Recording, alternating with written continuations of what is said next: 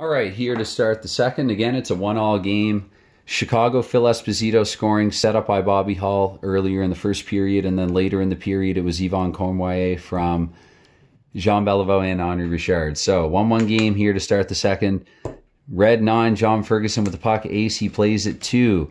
Well, it's a team player. Let's see who we get. 6, again, three, five, seven. So Jimmy Roberts with it. Can he score? No, he can't. And Ken Wharram now with the puck for the Chicago Blackhawks. A red jack that will not penetrate Montreal's team defense. Two more cards come off the pile. Black five. So it's Eric Nesterenko. He will play it to Doug Mohns. And Mohns with a seven. It's 2 1 Chicago. Okay, Mohns from Nesterenko, and I have flipped uh, an ace of diamonds from the draw pile. I look at D, that's Pierre Pilote.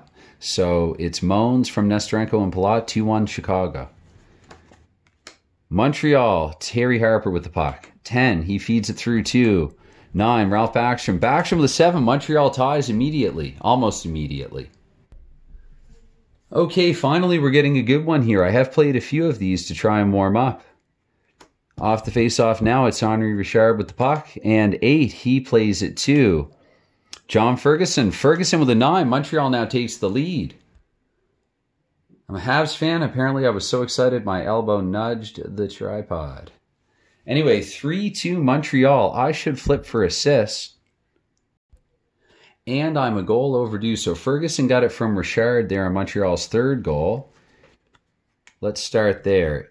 Eight of hearts. And I mean, you can always actually, months ago when I was playing the game more regularly off camera, what I would do actually is flip for assists in between periods. I would write down who scored and then I would and who set up the goal scorer and then I would flip for assist during intermissions.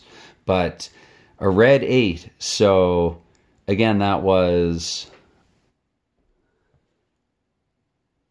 Ferguson from Richard and Gilles Tremblay and earlier it was Backstrom scoring from Terry Harper. I'll flip for that marker as well. Queen of clubs, that's Claude Provost. So Backstrom from Harper and Provost earlier on. I'm just trying to keep track of goals in my head, and now it's getting a little trickier than it was for some games that I played out earlier. Let's see, two and a half minutes. Let's speed things up. Ralph Backstrom with the puck. Blackjack. Backstrom actually might be hurt. I flipped from the draw pile. He's hurt for three sequences, and he does not play the puck here. Two more cards come off the pile. I'll just try to make a mental note that Backstrom is down and out for the time being. Six, that's Claude LaRose with the puck, and a 10, he'll play it through automatically 2 2. That's on Montreal's team.